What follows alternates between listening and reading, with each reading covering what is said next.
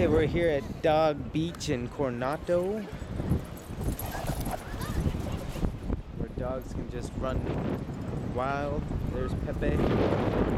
That's over his ball.